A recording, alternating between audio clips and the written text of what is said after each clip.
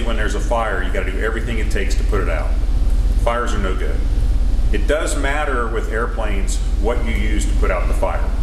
The standard ABC fire extinguisher has a powder that will corrode everything in your airplane.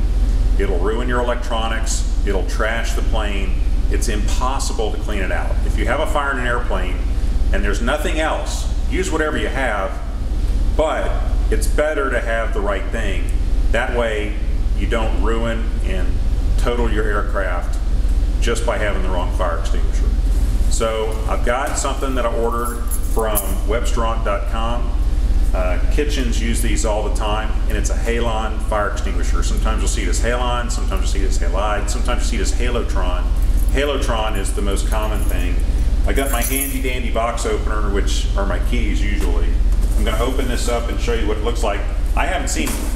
So let's open this up and see what our fancy halon fire extinguisher looks like.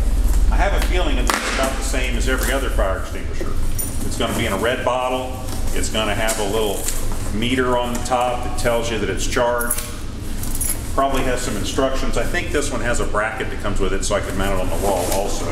And sure enough, there it is. Now one thing I'll tell you is that uh, it's got a green nozzle. It's got a green top. So one way that you can usually tell a halon fire extinguisher is the little green markers will tell you that. Uh, it's got instructions, but the instructions are pretty simple. It's rip the tab, pull out the pin, hold the fire extinguisher like so, and when you press the top, the agent comes out the nozzle, and the nozzle should be pointed at the base of the flames. That's standard procedure. Now, most fires in airplanes will tend to be electrical. Electrical fires can typically be stopped by just turning off the power. So if you can turn off the power to the thing that's burning, that's your first step. Knowing the source of the fire is helpful, if it is electrical, turn the source off. And then once you've done your best to eliminate the source of the fire, then it can be extinguished.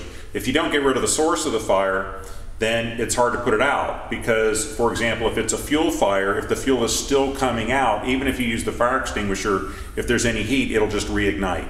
So get rid of the source of the fire, pick up your handy bottle, do your best, hope you have enough. Halon is handy for airplanes because it's a gas. And being a gas, it doesn't lay around to corrode things. It's not a powder that can get into every crevice and corrode the aircraft.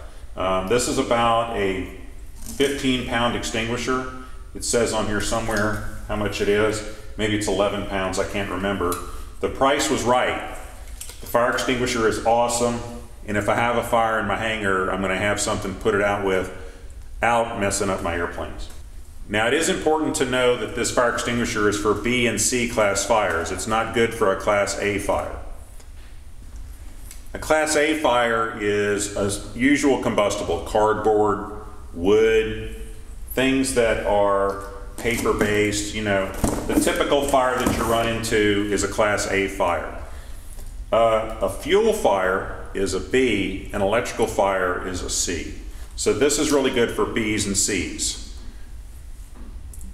There's not a whole lot in an airplane to burn in the way of an A-class fire, so this is another reason this is a good aircraft grade fire extinguisher. I do have an ABC fire extinguisher in the hangar, so if something would or uh, you know standard combustible were to catch on fire, I'd have something to use on it. I wouldn't pick up the halon extinguisher for something that's laying around inside the hangar or associated with you know wood or lumber or, or tables and desktops and things like that. So I'm saving this one for fires in and around the airplane where it's more likely to have a fuel fire or an electrical fire.